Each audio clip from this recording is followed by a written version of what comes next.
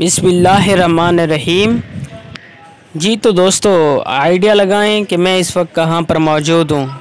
जी जी हाँ मैं बिल्कुल मौजूद हूँ इस वक्त गाड़ियों की बड़ी बड़ी प्लेस पर, गाड़ियों की दुकान पर, गाड़ियों के शोरूम पर। अगर ऐसा कहा जाए तो नामुमकिन नहीं है। जी हाँ यह मुमकिन है। आप देख सकते हैं, बहुत सी खूबसूरत गाड़ियाँ प्राडो ट्रैक्टर और ओल्ड मॉडल की गाड़ियाँ यहाँ पर मौजूद हैं। काफ़ी किस्म की गाड़ियाँ हैं और काफ़ी गाड़ियाँ हैं जिनको एक्सल है, जिसमें है अकल्टस है, उनके ऊपर कपड़ा डाला गया है।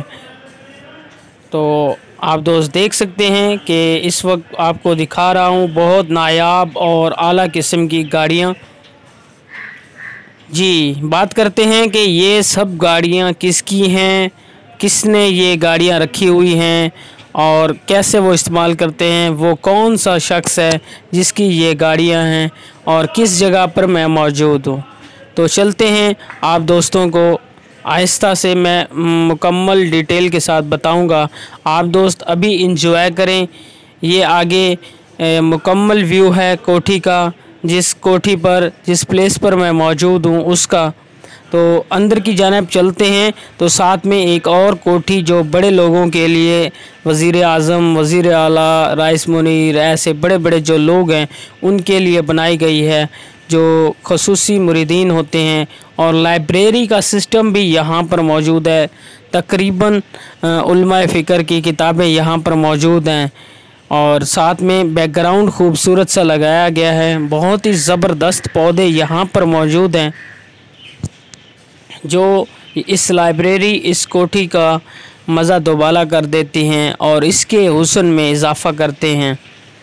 जी तो साथ साथ मैं आप दोस्तों को ये बताता चलूँ कि ये जगह, जी, इस वक्त मैं मौजूद हूँ पंजाब के पाकिस्तान में मौजूद पंजाब, सूबा पंजाब के ज़िला रहीम यर ख़ान की तहसील सादिकाबाद के इलाका थल्ला शरीफ में।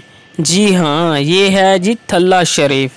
थल्ला शरीफ में मौजूद हूँ और वहाँ पर मौजूद थल्ला शरीफ दरबार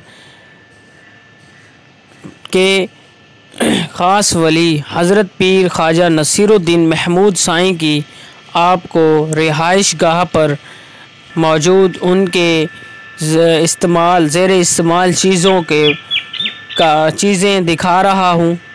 आप दोस्त देखें, खूबसूरत से और पुराने कल्चर के कोप और कूलर वगैरह भी मौजूद हैं। जैसे मैं आगे गया तो मुझे मालूम हुआ कि यहाँ पर कंस्ट्रक्शन का काम हो रहा है। तो आप दोस्तों के साथ मैं ये भी शेयर करता हूँ। आप दोस्त देखें कि मज़दूर जो है वर्क कर रहे हैं। जी तो नाजरीन, ये है जी अपना ख्वाजा नसीरुद्दीन महमूद साईं की रिहाइश गाह। आप यहाँ पर मौजूद होते हैं और लोगों को दुआएँ देते हैं। अल्लाह के ख़ास वली हैं हज़रत ख्वाजा गुल मोहम्मद साईं, हज़रत ख्वाजा अब्दुल हमीद साईं और भी बहुत से वली इस तल्ला शरीफ की दरबार पे मौजूद हैं। उनकी मज़ारें हैं। तो उनका व्लॉग भी मैं आप दोस्तों के साथ शेयर करूँगा। तो आप दोस्त, फ़िलहाल देखें ये सारे बाग जो हैं, बाहर की तरफ़ आपको दिखा रहा हूँ। ये सब आप सरकार रहमतुल्लाह के हैं और आपके जो अभी कुछ दीवारें कच्ची थी, वो बन रही हैं। मज़दूर अपनी मज़दूरी में हैं और देखें कि बंदा एक्शन में है और बहुत ही सुलझा हुआ है।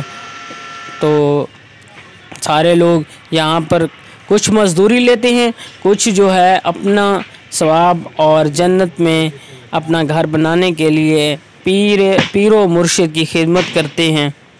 मिस्त्री साहिबान जो हैं यहाँ पर लगे हुए हैं। अस्सलाम वालेकुम क्या हाल है? ठीक हो सही खैरियत? तबीयत ठीक है? पेट फाड़ लगे पे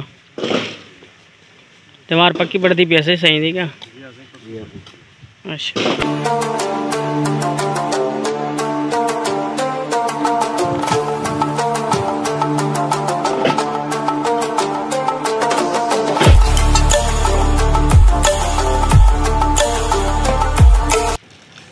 जी तो नाजरीन, ये खूबसूरत सी वीडियो आप दोस्तों को दिखाने का मकसद आपको एंटरटेन करना है। यहाँ पर मज़दूर ईंटों को पानी लगा रहे हैं ताकि ये तर हो जाएँ और फिर इससे ये फ़ायदा होता है कि ये दीवार को बहुत मज़बूत रखती हैं, बहुत ही ज़बरदस्त फ़ायदा हासिल होता है। तो आप दोस्तों को अब मैं फ़ाइनल बात बताऊँ कि ये गाड़ियाँ किसकी थी? ये गाड़ियाँ ख्वाजा नसीरुद्दीन महमूद साई की थी, उनके साहबजादे हैं हज़रत ख्वाजा गुल मोहम्मद साईं। ये भी उनकी कोठी का मंज़र आप दोस्तों को दिखा रहा हूँ, जो उनकी एक और कोठी यहाँ पर मौजूद है। पहले वाली और थी, ये और कोठी है जो उनकी मौजूद है।